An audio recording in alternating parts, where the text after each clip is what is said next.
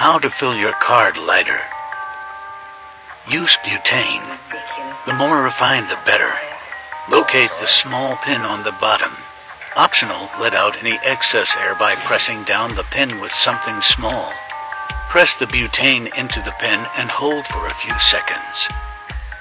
Congrats. Your card lighter is good to go.